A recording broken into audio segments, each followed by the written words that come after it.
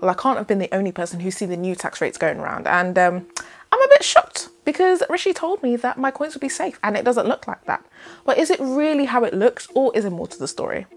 Well, the short answer is Hello and welcome to The Adult Life, where we give you the tools to be a happy and healthy adult. My name is Simi and I'm the adult in charge. So, the government just released the new 2021 2022 income tax rates, and uh, it's looking a bit mad, you know, because from what I can see, it looks like if you earn over £37,000, you're going to have to start paying 40% tax. When last year we only had to pay 40% on anything we earned over 50k. So is HMRC trying to claw back all the money spent on Eat Out to Help Out and help out Boris's cronies? Well, the short answer is no. And the long answer is no. so, a lot of confusion has seemed to stem from the fact that the way the government is showing the income tax rates this year is a bit different from how they showed it last year. So, if you look at the 2021 income tax rates, you'll see that if you earn between 0 and 12,500, you don't pay any income tax. Any earnings between 12,501 and 50k will be taxed at 40%. Anything from 50,001 to 150k will be taxed at 40%, and anything above 150k and one will be taxed 45%. But there's a bit more to that when you earn over 100k, but I'm not going to go into that because I know you ain't earning that. and if you were, you probably wouldn't be watching this video.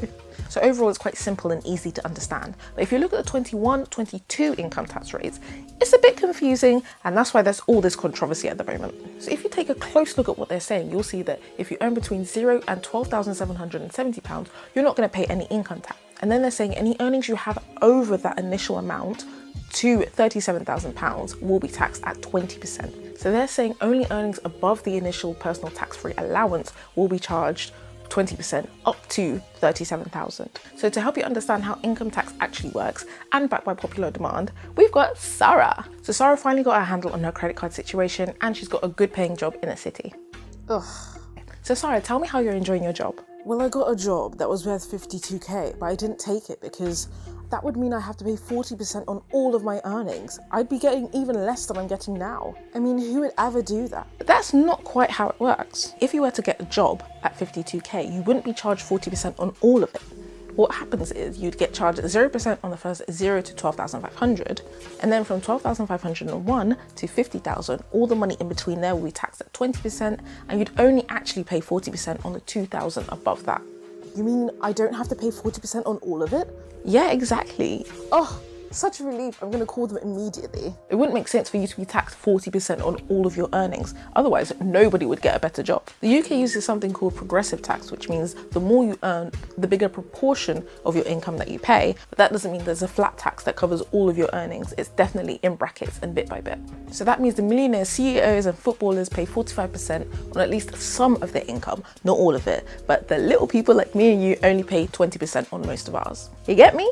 Don't talk to me.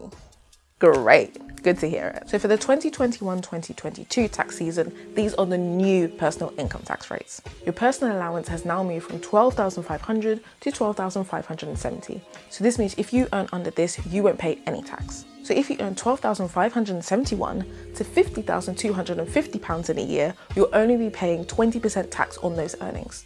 And the rest is pretty much the same as you can see right here.